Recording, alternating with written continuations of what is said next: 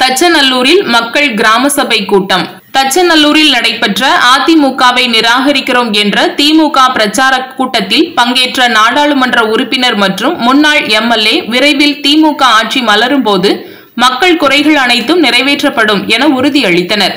நெல்லை சட்டமன்ற தொகுதிக்குட்பட்ட தச்சநல்லூர் அந்தோனியார் கோவில் தெருவில் விடியலை நோக்கி ஸ்டாலின் குரல் என்ற நிகழ்வின் ஒரு அங்கமாக அதிமுகவை நிராகரிக்கிறோம் என்ற பிரச்சார கூட்டம் நடைபெற்றது.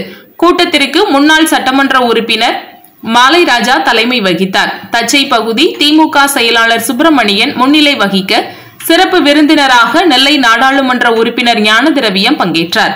கூட்டத்தில் தச்சநல்லூரை உடையான் குடியிருப்பு சத்திரம் புதுக்குளம் மதகடி பஜனை மடம் தெரு பவுண்ட் தெரு தேநீர்குளம் தெரு பகுதிகளைச் சேர்ந்த மூவாயிரத்திற்கும் மேற்பட்ட பெண்கள் பங்கேற்றனர். கூட்டம் தொடங்கியவுடன் மேடையில் அலங்கரித்து வைக்கப்பட்டிருந்த திமுக முன்னாள் தலைவரும் முன்னாள் முதல்வருமான கருணாநிதியின் திருவுருவ படத்திற்கு எம்பி ஞானதிரவியம் மற்றும் முன்னாள் எம்எல்ஏ மாலை ராஜா தச்சை பகுதி செயலாளர் சுப்பிரமணியன் ஆகியோர் முன்னிலையில் திமுகவினர் மலர் தூவி அஞ்சலி செலுத்தினர். தொடர்ந்து அதிமுக அரசுக்கு எதிரான குற்றப்பத்திரிகை என்று துண்டு பிரசுரங்களை கூடியிருந்த பெண்களுக்கு திமுக நிர்வாகிகள் வழங்கினர். மாவட்ட துணை செயலாளர் மணி துவக்கு உரையாற்றினார் தச்சை பகுதி திமுக செயலாளர் சுப்பிரமணியன் பேசும்போது திமுக ஆட்சியில் மாநகராட்சியின் மண்டல சேர்மனாக நானும் நெல்லை சட்டமன்ற உறுப்பினராக மாலை ராஜா அவர்களும் பதவியில் இருந்தபோதுதான் தச்சநல்லூர் பகுதிக்கு மேம்பாலம் அமைந்தது. சுகாதார நிலையம் கிடைத்தது. கிராமச்சாவடி ஆரம்ப சுகாதார நிலையம் அரசு மருத்துவமனை விரிவாக்கம் போன்றவை திமுக ஆட்சியில் நடந்துள்ளதை கருத்தில் கொண்டு ஒரு ஆளுக்கு குறைந்தது நூறு வாக்காளர்களை சேர்த்து நமது பகுதி முன்னேற மீண்டும் வருகின்ற சட்டப்பேரவை தேர்தலில் திமுகவிற்கு வாக்களிக்க வேண்டும் என்றார். கூட்டத்திற்கு தலைமை வகித்த முன்னாள் சட்டமன்ற உறுப்பினர் மாலை ராஜா பேசும்போது நெல்லை தொகுதிக்கு உட்பட்ட பெண்கள் குறிப்பிட்ட அனைத்து குறைகளையும் கூட்டத்திற்கு வந்துள்ள நமது எம்பி ஞானதிரவியம் திமுக தலைவரின் கவனத்திற்கு கொண்டு சென்று அவற்றை நிறைவேற்றி தருவார். முப்பத்தி இரண்டு கோடி மதிப்பில் குடிநீர் தொட்டி நமது பகுதிக்கு வந்தது குறித்து பகுதி செயலாளர் தெரிவித்தார். கடந்த பத்து ஆண்டுகளாக அதிமுக ஆட்சியில் நெல்லை தொகுதிக்கு என்ன நடந்துள்ளது என்பதனை நீங்கள் நினைவில் நிறுத்தி வருகின்ற சட்டப்பேரவை தேர்தலில் உங்களது மனக்குறையை வெளிப்படுத்திட வேண்டும்.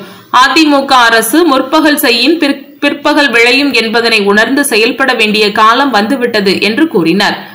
சிறப்பு விருந்தினராக கலந்து கொண்ட நெல்லை நாடாளுமன்ற உறுப்பினர் ஞானதிரவியம் பேசிய போது நெல்லை சட்டமன்ற தொகுதிக்கு உட்பட்ட தச்சநல்லூரில் நடைபெறும் இந்த மக்கள் கிராம சபை கூட்டத்தில் இவ்வளவு பெண்கள் கலந்து கொண்டது பெரும் மகிழ்ச்சியை தருகிறது. தற்போது நாட்டை ஆளும் எடப்பாடி அரசினை அகற்றிட வேண்டும் என்ற ஒரே நோக்கத்துடன் திமுக தலைவர் ஸ்டாலின் உத்தரவின் பேரில் பதினாறாயிரம் மக்கள் கிராம சபை கூட்டங்கள் ஆங்காங்கே நடைபெற்று வருகிறது. சுமார் தொள்ளாயிரத்தி பதினோரு கோடி மதிப்பில் நடைபெற்று வரும் ஸ்மார்ட் திட்ட பணிகளில் பல பணிகள் கொள்ளை நோக்கத்துடனே செயல்பட்டு வருவதாக வணிகர்களும் பொதுமக்களும் கருத்து தெரிவித்து வருகின்றனர். நாடாளுமன்ற உறுப்பினருக்கு தர வேண்டிய நீதி கிடைக்காத பட்சத்தில் இருபதாயிரம் கோடியில் பாராளுமன்ற கட்டிடம் தற்போது கட்ட வேண்டிய அவசியமில்லை. எனவே மக்களை ஏமாற்றும் மோடி அரசையும் அவருக்கு அடிமையாக இருக்கும் அதிமுக அரசையும் அகற்றிட வேண்டும்.